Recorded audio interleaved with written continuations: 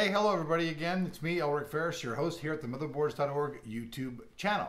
Well, today we've got a kind of an interesting unboxing.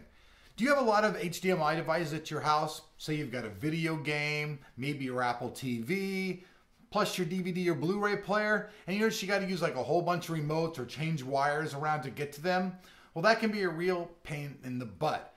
So for people like you and me, we might use a switch that could actually switch between all of those. And for those, there's a company called ATEN. They're a new company to me, but they make a lot of KVM switches and a lot of stuff for people who interact with many devices at a time. Today, we're going to take a look at their HDMI matrix switch. The model number on this is the VM0404H. Now, this is basically an automated four-port HDMI switch. Has a remote control, has a whole box that you can even mount in a rack. It's pretty professional looking. So let's check out today what comes in the box of the new HDMI matrix switch from our friends at ATEN.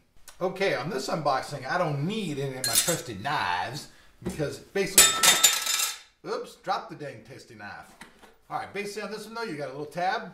I'll show you guys here. This little tab pops open and you pop open the top and you pop open the top again.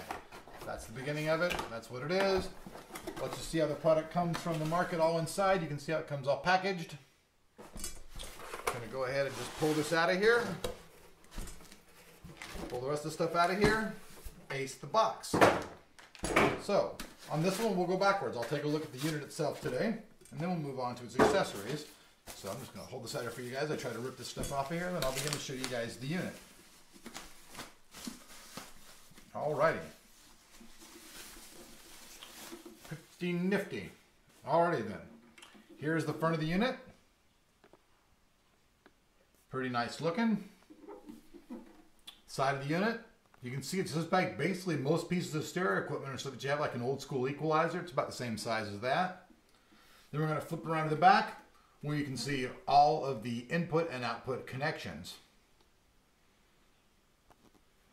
On the top bit, it it says made by a company called VanCryst, or maybe that's the model thing. When we do the full review, I'll look into that further. Wasn't really a don't know what the VanCryst thing is. Maybe that's one of their manufacturing partners. But so there's the unit. Spin that out and set it down. And then here is the accessory packet.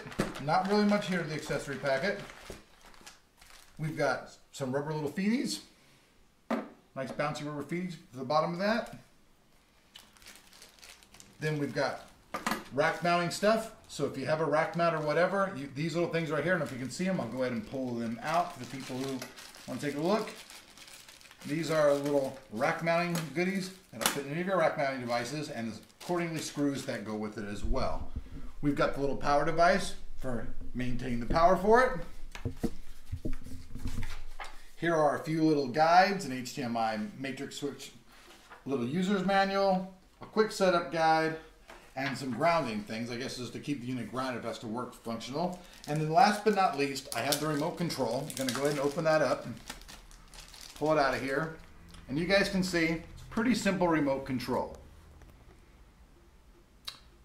All you do is click between the four different units and it automatically switches between them. And then if you pull this little switch out right here, there's a battery in it. And as soon as you pull this out, that activates it and makes it work. So thanks for watching the unboxing of this. This is the new ATEN. It's a good four port matrix switch for switching between all of your HDMI devices. So follow us along as we look at the full review next week and we'll see you here on YouTube.